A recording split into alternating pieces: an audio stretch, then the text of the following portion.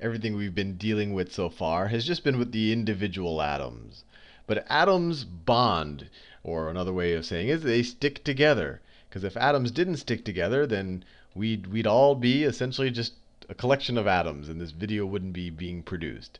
So atoms stick together and they form molecules. You take a bunch of atoms together and they'll stick together and They'll, they'll form molecules, and then obviously molecules start building up, and you get other structures. And if we started talking about organic chemistry, you'd have a bunch of uh, atoms, a lot of carbons and hydrogens and other things fitting together, and they'd be forming proteins, and then proteins would fit together to form organic structures, and you fit enough of those together, and you'll eventually get someone recording a YouTube video. So this is where it all starts. Atoms bond or they stick together. And the purpose of this video is to just kind of think about the different types of ways that an atom can stick to another atom.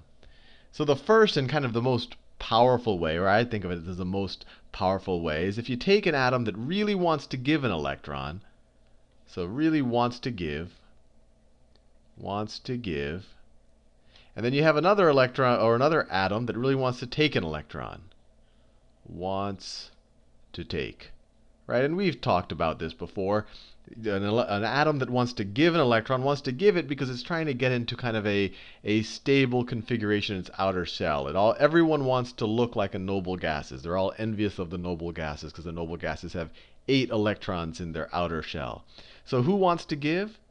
Well, if you want to, if you look at the periodic table, the people who want to give really badly, and we've talked about this a good bit, are the alkali metals. These guys just really want to offload an electron.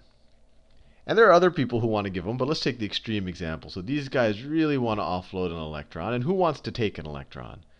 Well, the halogens, we've talked about. These guys love taking electrons. They're not the only ones, but they're, they are some of the most electro, they have a very high electronegativity. Negativity. They really want to take electrons. So if you put these around each other, what happens? Let's say, I don't know, let me make a sodium and chlorine. Sodium, let's say we wanted to flavor some of our food. Sodium, so you have some sodium and you have some chlorine. So sodium, let me draw its valence, valence shell. Sodium's valence shell looks like this. It's got one electron sitting there that it would really just like to get rid of. And then chlorine looks like this. Chlorine. It has seven valence electrons. One, two, three, four, five, six, seven. So what happens is this guy wants to escape. This little blue electron right here really wants to escape the sodium and, and, and essentially move into the chlorine. And obviously it's not like a one for one. You'd have, you know, you have billions and trillions of these atoms rolling around and these electrons jump off and they go to one, then they jump to another. But for the sake of our purposes, let's say we just have these two atoms. And what you have is that that electron jumps off. And then if that electron jumps off, what happens to sodium?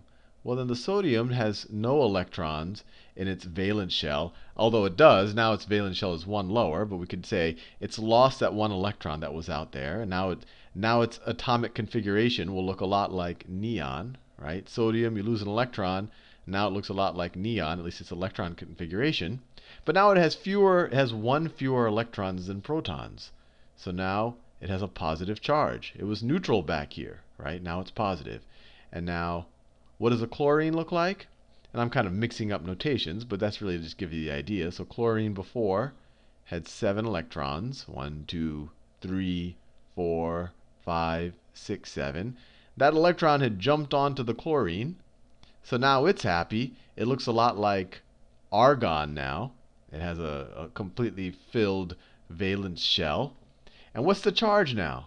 Well, it has one more. Now it'll have 18 electrons instead of 17, right? So what is its charge now? It has, it has 17 protons, 18 electrons. It has a negative 1 charge. So I'll just put a negative up there. And it has a negative charge now because it got that electron from sodium. So now these guys are both happy from an electron configuration point of view. They both have these stable valence shells. But they're attracted to each other right? Coulomb forces. Positive is attracted to negative, negative is attracted to positive, and it can be very strong, this electrostatic force, so they stick to each other. And so this force of attraction, this is an ionic bond. So when they, they essentially, they'll form NaCl, NaCl, And this bond, they're not sharing electrons. This guy wanted the electron so badly, and this guy wanted to give him away so badly. He just handed the electron over, but he says, oh, by the way, now that I handed you the electron, you're negative, I'm positive, I want to stick to you. And then we formed table salt, and we're ready to season our food.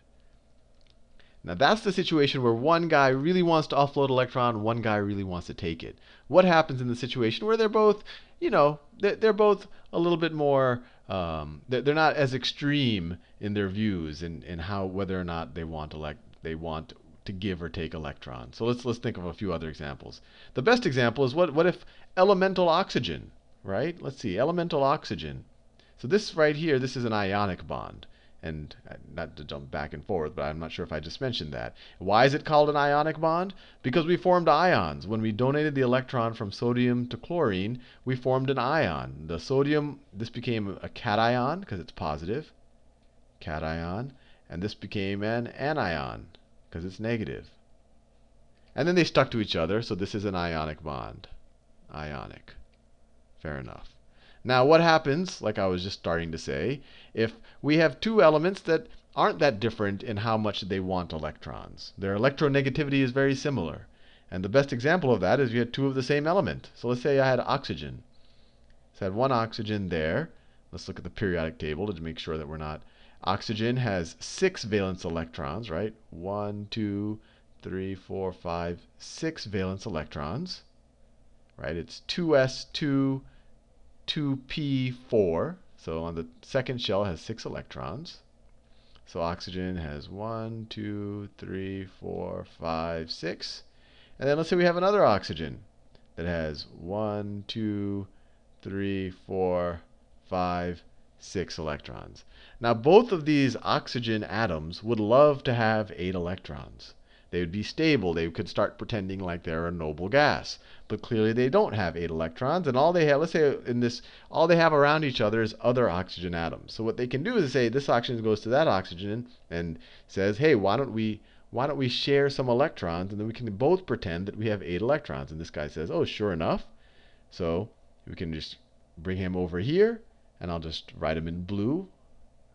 Oxygen doesn't necessarily have to change colors. I'm joking. Um, so I'm just going to draw this guy over on this side just so you recognize that he's this is different than this guy. And then they share these electrons. So they share these electrons. And we could do it by making drawing a line here. So they're sharing two or they're sharing two pairs of electrons. So this guy right here, he had six electrons, but he can kind of pretend that he has this electron and that electron. So he has eight in his in his valence shell. And this guy, he's going to do the same thing. He has one, two, three, four, five, six.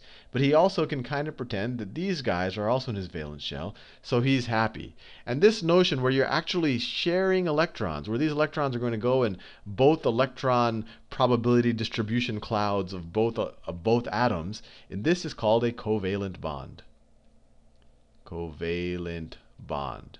And this is typical when you're dealing with two elements that aren't that aren't very different in terms of their their electronegativity or their desire their desire to attract electrons.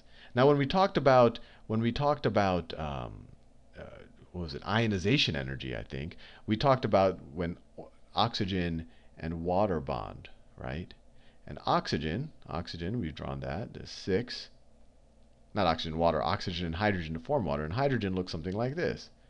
Right? You have a hydrogen atom there, you have a hydrogen atom there. They said, hey, why don't we get together? Let's share some atoms. And the hydrogen atoms say, oh, okay, let's share some atoms. Let me rewrite this oxygen like this so it becomes clear that we're sharing. So if I rewrite this oxygen like this, I essentially split up one of these pairs, and these hydrogens come along, and they share one hydrogen there, one hydrogen there. This guy can pretend like he has his first shell filled because you can only put two there. That's where the eight rule breaks down in the first shell. This guy can pretend two, and now oxygen can pretend like he's got he's got eight electrons in his valence shell. And everyone's happy. So this is also a covalent bond. Another way we could have written this, and I think I did this in the last video, I could have drawn it like this. I could have written it like this where the implication of this line, each of these lines involve two electrons. These are equivalent statements. But in this situation, oxygen is more electronegative than hydrogen. It wants to get the hydrogen, oh, sorry, it wants to get the electrons more than hydrogen. So in this situation, the electrons are going to spend more time around oxygen than they will around hydrogen. So hydrogen will, will experience, I guess we could call it a partial positive charge on this side of the molecule, while the oxygen side will experience a partial negative. I'm going to draw it real small because it's a partial negative. This is called a polar covalent bond. Polar covalent bond. Because it's, still covalent. We're sharing electrons, but it's polar because the electrons are getting pulled to spend most of their time at one side of the atom. And since that is the case, the molecule as a whole, the collection of atoms, is going to have polarity. One side of the molecule is going to be more negative than the other side, which will be more positive because the electrons are spending more time on that side. Now, the last bond we can talk about, and I've touched on this a little bit, is the metallic bond. Metallic bond. Metallic bond. I was in a heavy, I was in a metallic bond in high school, but anyway, we can that that's a subject for another video. But with with metals, what you do is and it's a little bit you can't really draw the electron structure there, but what happens with the let's say we have iron, right? And you have just a bunch of neutral iron atoms sitting around. And we established the one commonality of metals, what makes something metallic or have metallic characteristics, that they like they have a bunch of electrons in their outer orbital that they're very they're very giving, they're very happy to share.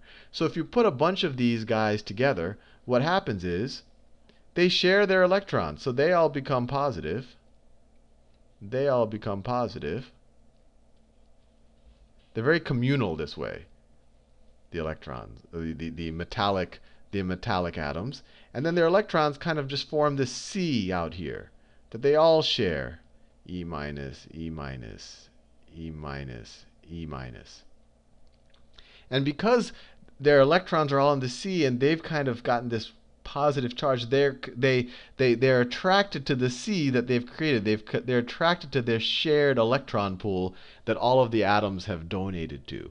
And this, would, this is essentially what allows, uh, what allows, well, definitely metals to be conductive because you have this pool of electrons that are very easy to move around. And also it's what makes them malleable because, you know, if, even if you visually, it's a little intuitive, there's nothing exact here, but you can kind of move these, you can imagine that this is kind of a big pudding of electrons or big glue of electrons and you can move, you can bend the rod or, or flatten the rod without having it break or get brittle. While when if you're if you're talking about salts that have a very strong but rigid bond, if you were to try to bend a bar of salt, you're not, you know, the, the, bond will just be broken. There's no, there's no kind of squishy electron mush that you can kind of bend around and play with.